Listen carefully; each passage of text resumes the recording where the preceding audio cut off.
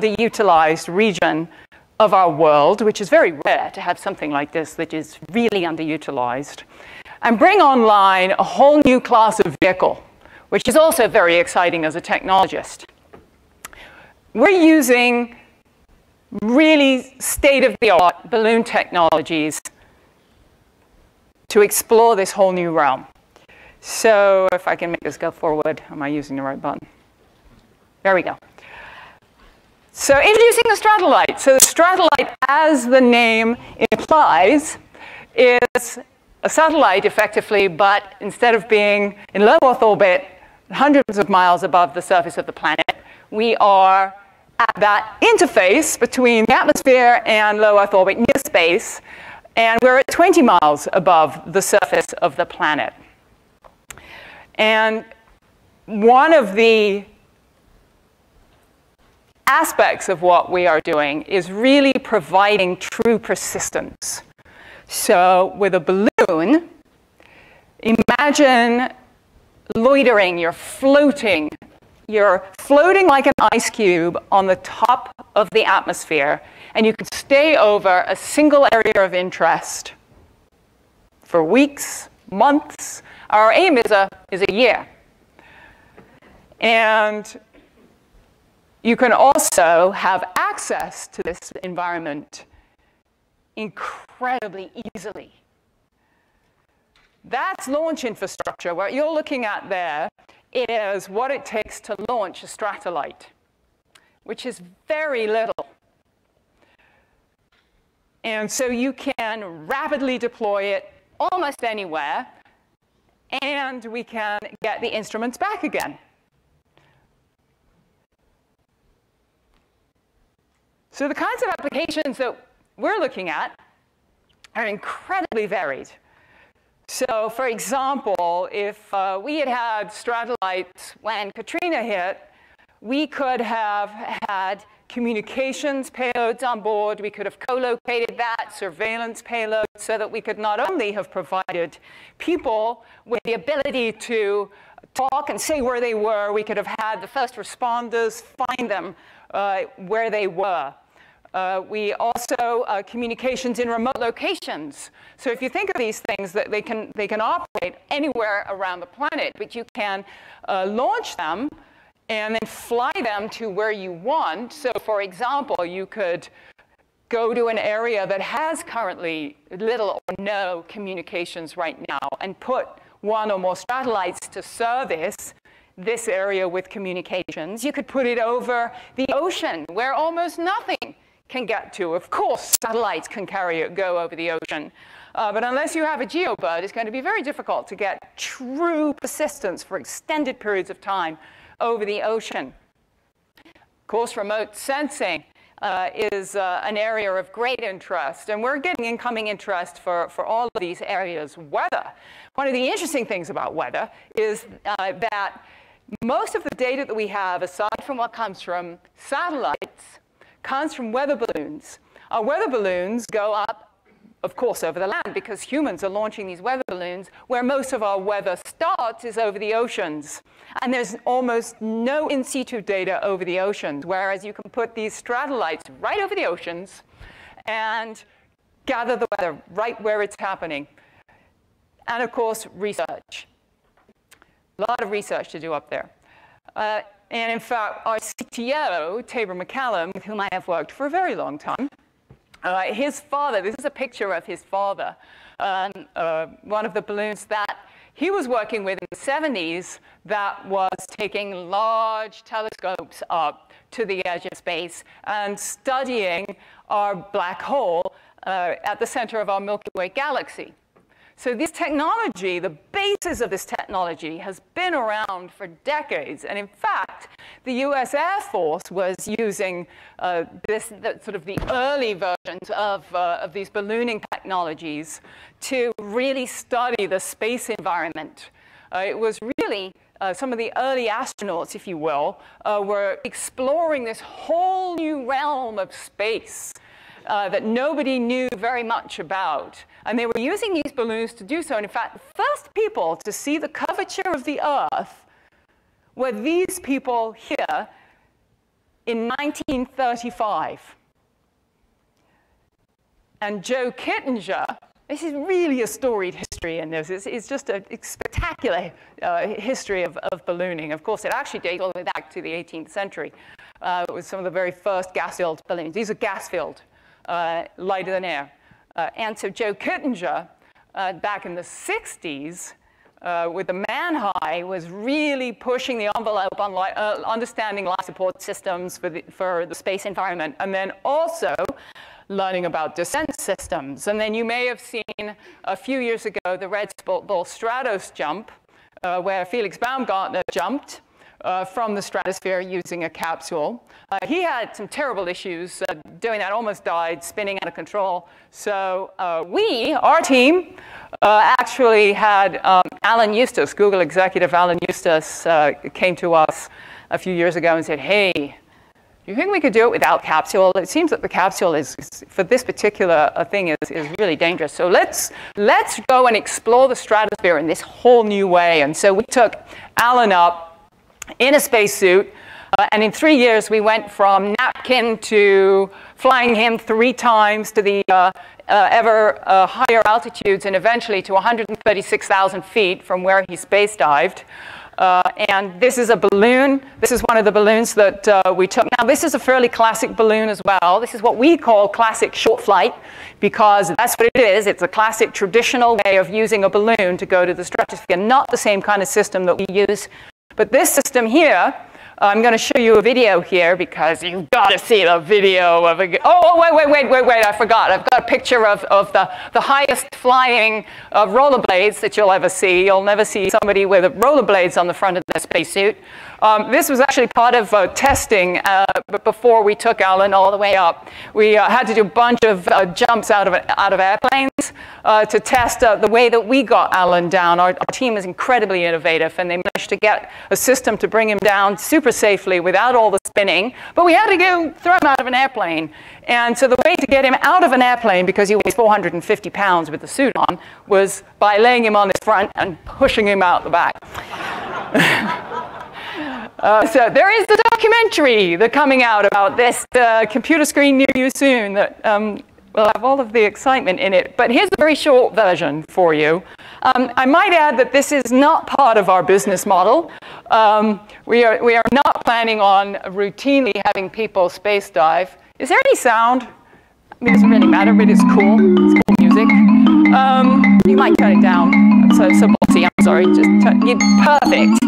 Um, so there he is in his spacesuit underneath a, a, a balloon that once it gets to altitude is the size of a football stadium. You can literally pick up an entire football stadium and spin it around inside.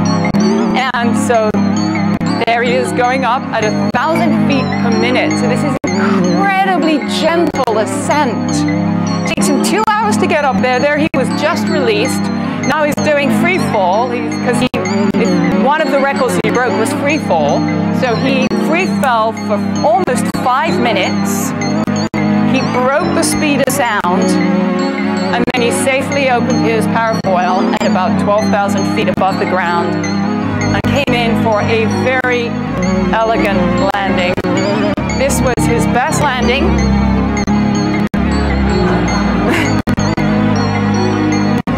he does have 250 pounds of life support system on his chest. And he's also in a very restricted spacesuit. So you can't like really do the full thing that you do if you're flaring. Um, and then this is all of the people that, that uh, an army of people that we had uh, making sure that he would be safe when he landed.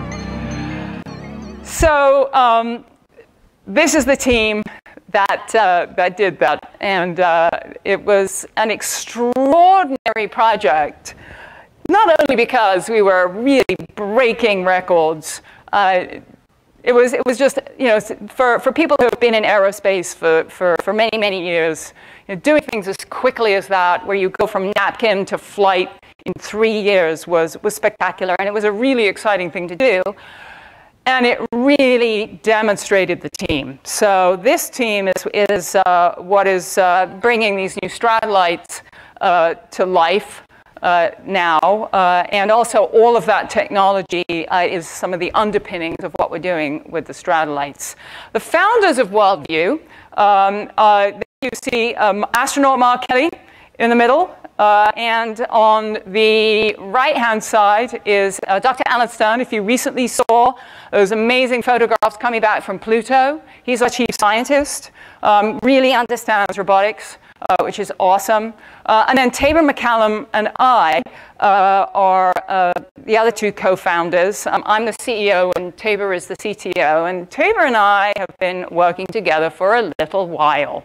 So some of you might remember, some of you are way too young to remember, but some of you might remember um, 25 years ago, this year, eight of us spent two years and 20 minutes in Biosphere 2 planet Earth being biosphere one. And uh, uh, biosphere, there, there's a marsh and an ocean and a, all kinds of exciting things in there, but it uh, was intended to be, um, oh, here's us going in. Um, there's me giving the Queen wave 25 years ago, and Taber's got his hand over his face. Um, so uh, this was really one of those uh, handful of private space companies that was on Joe's uh, presentation earlier. Um, Space Biospheres Ventures did this. I would say as a business model, it was probably about 100 plus years ahead of its time uh, because it was really about being a prototype space base for Mars. Um, I think we're a little ways from that now. Uh, so the company pivoted and is now doing uh, some really exciting things in uh, planet Earth, really understanding how our, our, Earth works. University of Arizona runs it, actually. Um, but it was, it was an incredibly exciting project for us to be involved with and was very much an inspiration for what we're doing at World View today. Uh, this is uh, Mark Kelly's twin brother, Scott Kelly.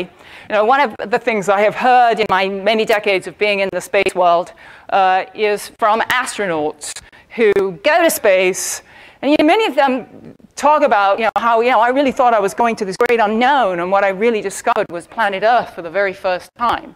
Uh, and so this is, of course, an extraordinary picture uh, looking out uh, of the uh, International Space Station where he was for a year, um, which uh, I'm sure he has a lot of interesting stories about that. Uh, and, and this was the early inspiration for the company, for, for World View. We initially were a human spaceflight company, and we still are.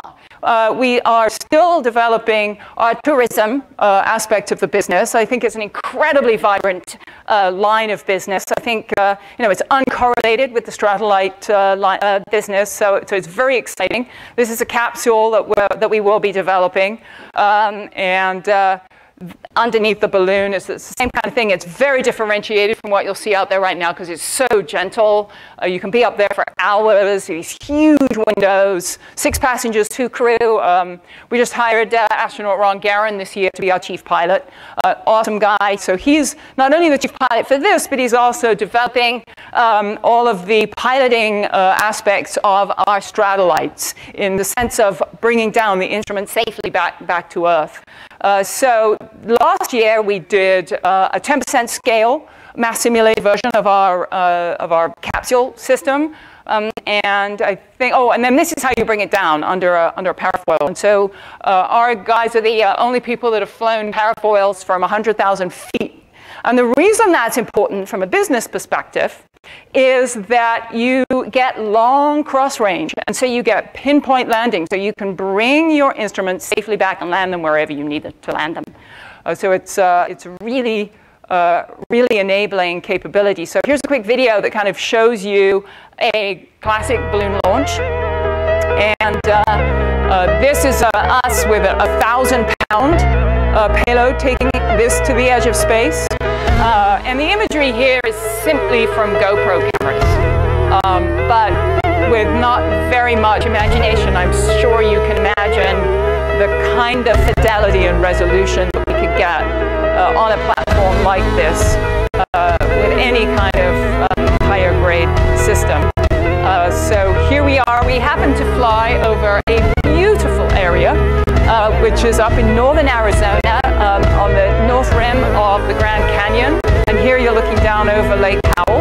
Um, this was a test flight for our uh, commercial tourism but it was also a test flight for our Stratolite systems because so much of the technology transfers between the two. Uh, and then, as you see, of course, oh, here we are flying uh, back down now. That's flying at 100,000 feet under, uh, under parafoil, coming back down uh, to land. Here we did not land on a runway yet because this is uh, early testing, uh, but the, the, the, plan would be to, to land on, on runways. Uh, so this was a test that we did last year. Uh, this is just one of the, the, numerous tests we've done, but this kind of gives you a demonstration. This is what we're really focusing on this year. This is the persistence. This is, this is how uh, our team is, is enabling us to really stay over an area uh, to provide persistence. Um, we uh, do make our own balloon systems, um, and also in this uh, uh, photograph, uh, we're really excited that this year we um, not only uh, did Space Angels uh, get involved in our recent round, which was awesome to have them in this round again. Uh, but also Canaan Partners and Norwest, and in this photograph, uh, if you know Deepak, you'll see him there in the front row. We're also very excited to announce that Tom Ingersoll, who is the CEO of Skybox, is on our board. Uh, so uh, we're, not only do we have incredible world-class uh, engineering and technical team, uh, we're really excited to have a, a world-class investor team working with us uh, and uh, doing great things. This is a cool photograph. I mean, where are you going to see a picture of, of the limb of the Earth from inside um, a balloon? That's uh, pretty cool. Uh, this, this shows uh, one of the things that over the many years that I've been involved in space, you know, sp access to space is something that is just a mantra. We need access, we need access, we need access.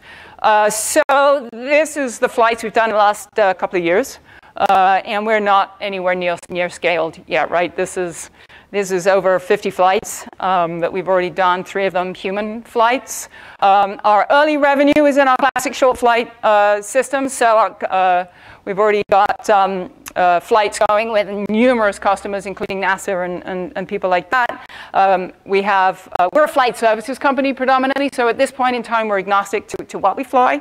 Uh, so we have a, a number of different uh, exciting partnerships that we're getting ready to announce uh, from all manner of um, both commercial and DoD applications uh, as well.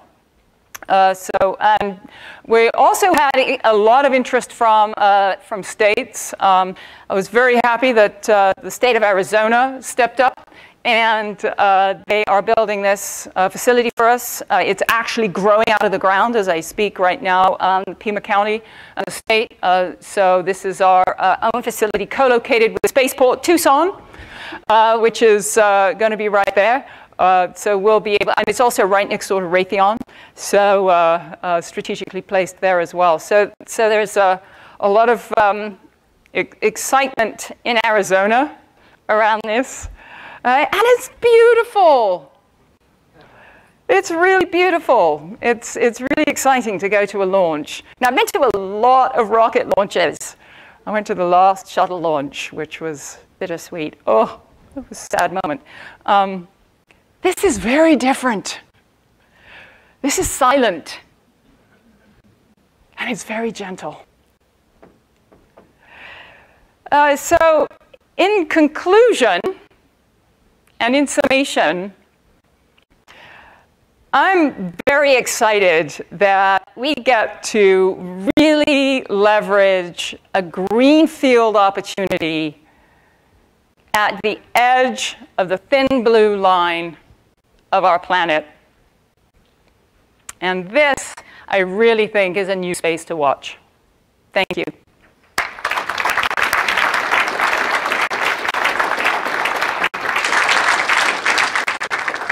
Uh, I think we're out of time, so I'll take any questions later. I don't see anybody leaping up, so I'm going to run out. Oh, somebody's leaping up. so uh, I just wanted to yes. ask you, uh, how do you keep the, the Stratolite system from, you know, in, in one place and not drifting around the planet? Yes, exactly. Tell us that yet. That is the secret sauce. And an aspect of the secret sauce is very simple but oh so hard to do. So it uses the winds. So we use buoyancy control, and uh, but is really wonderful. I love how the planet works. It deliver, delivers things for us to use. And in this instance, it's the winds that go in different directions at different altitudes. And so we get very accurate, very rapid altitude control, uh, change so that we can literally go to different altitudes to stay in one, in one spot. That then also allows us to do waypoint navigation. So we can fly over areas of interest. So you, can, you saw in that one picture I showed a very tight circle. Mm -hmm. You also saw that we kind of started in one place and then we flew to it and then we flew on. So we can do that. So we can fly to an area, loiter over it, and then cruise on to another area. So no thrusters or anything like that are needed? No. At this juncture, we do not think there's thrusters needed. Certainly not for most of the time. There might be short periods of the time in the year where we may need more than one uh, stratolite over an area. Uh, and there, yeah, but at, at, this point, no. Uh, not, not necessary. Okay, thanks. Yeah, keep it simple. Thank you. Hello. Yes. Yes. Yes, I'm going to go for it. okay. okay. So, um, how did you? I don't know if you can answer this. I don't how, know. How, how did you solve the spin problem uh, with you? Oh, I can answer it. That I can answer. How did we solve the spin problem? Yes. So, um, Joe Kittinger, when he jumped, he used a drogue. And a drogue is a fairly common thing now. It's a very tiny parachute right. that doesn't really slow you, but it stabilizes you. And it's a little tiny thing. Think of it like a shuttlecock, and you, you kind of have it on the back here, and it, and it catches just enough air that it stops you from spinning. But the problem that Joe had was rather unfortunate in that it was made of, you know, as you think of a, para a parachute, right? All of the strings come out and join to the parachute. Mm. Well, you're in free fall. So imagine what happens. It wrapped around his neck. So when Felix jumped, they went, well, to hell with that we're not going to use it because I don't think I want to have that. I, you know, he was a real professional skydiver. So he assumed he was going to be able to stop himself from spinning. And if you were one of the many millions like me who was watching it real time, we were all, as the guy was wildly spinning out of control. Yes. So uh, what our team did was take the idea of the drogue, but very ingenious and very simple, used uh, carbon, a carbon rod, effectively, that shoots out and, and holds it away from him. So that there's no way you get this benefit of this drogue that stops him from spinning without him getting all tangled up in it, which is a very simple solution, but was not an obvious one. And I love simple solutions. They're always the best. A sort of corollary to that is yeah. if, uh, you're, if, you're, actually opening up that um, chute on your uh, human capsule at altitude. You know, are there, are there any issues there because of the, you know, how thin and Yes. Yeah, the atmosphere. More yeah. secret sauce. I love it. So um, one, one of the great things is that we've been flying now at those altitudes. Mm -hmm. And indeed, the atmosphere is very rarefied. Yes. And so there are things you have to do that, are, mm. that uh, ensure that the, uh, that the wing stays open and that it flies. Now, wings want to fly. They just right. do. So it flies just fine. Mm -hmm. Okay. And we've, we've, done, we've done pretty extensive testing now. Thank you. Hi, I'm Josh from Aviation High School Satellite Team. Um, you meant, okay. Um, you mentioned using uh, Stratolites to do stuff normally reserved for conventional satellites. So when when you when you have a more established market where people are paying for you to do things with Stratolites, if if the comparison can even be made between objectives for for conventional low Earth mm. orbit satellites right. and your product, what kind of uh, cost comparison would there be per pound to get stuff to to the top of the atmosphere? So I'm not talking about cost today. Okay. I'm happy to talk with you out there. Okay. But I think this is live streaming. okay. um, so we, we think of ourselves as uh, somewhat disrupting large UAVs If you think about large UAVs, um, they can carry a fair amount of payload, but they can't go very high and they can't necessarily stay up for very long. Uh, and we are significantly less expensive, a couple of orders of magnitude less expensive than per hour than, um, than a large UAV uh, to fly. Um, so in terms of uh, the, satellite, the satellite world, of course, it completely depends whether it's a large satellite or a small satellite, GeoBird and all the rest of it. But really, some of the uh, areas that I was talking about that are the sweet spots, the things that traditional satellites in the way we currently think about them, which of course is evolving over time, uh, as more and more people work in this space, um, is in the areas of true persistence. You know, we can really stay over an area, whereas, you know, you're having to simulate persistence with a satellite, unless it's a geobird, which is, of course, very expensive to get it up there. So true persistence is, is one of the key factors that differentiates us from what we think of as the traditional new space world of satellites. Yeah. Hi, Jane. I'm Alan Boyle with GeekWire. And I wanted to ask, uh, Yeah. there was talk about having a flight of a full-scale mock-up of the capsule this year. Uh, maybe you could update us on that and also on construction for a spaceport Tucson. Yes. Yeah. Thank you. You Thanks bet. for asking. Yeah, so, so we are um, really focused on our satellite system this year. Although I think, as I said earlier, that translates to lots of development in, Mm-hmm. in the Voyager system. Uh, we are going to be probably doing that particular flight early next year. It, it has slipped a little bit.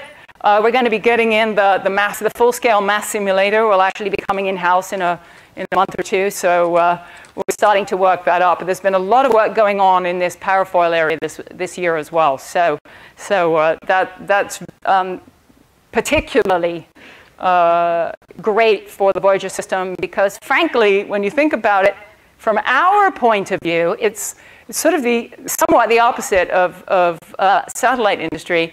Getting up there is easy because you know you've got gravity going working for you because you've got the balloon is just lifting you gently up to the edge of space.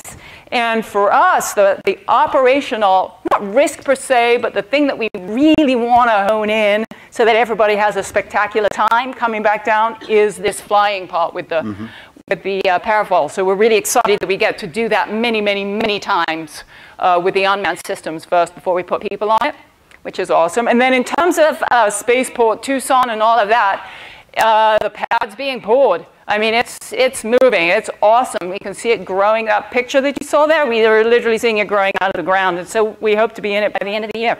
Come on down. Come and see us. I will. Cool. Thanks. Awesome.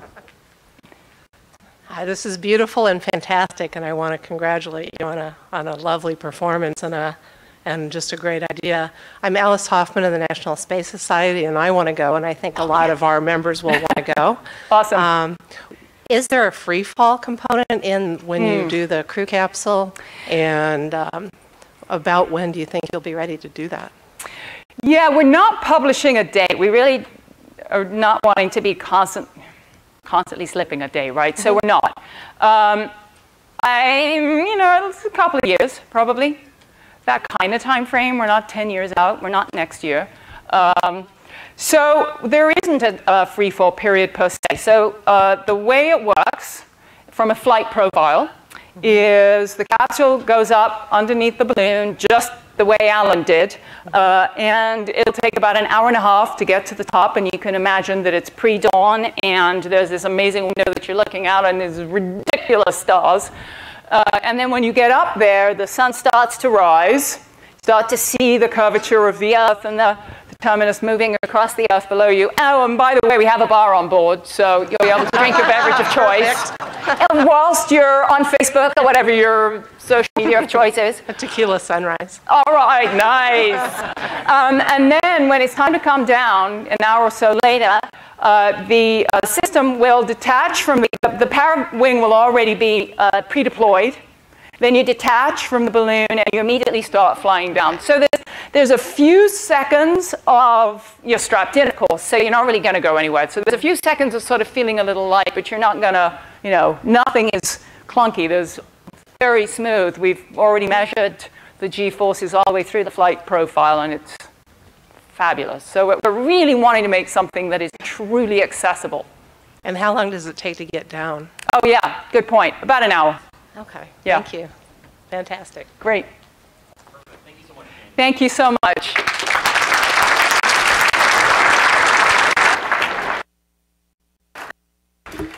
Okay, so now we're going to go to lunch.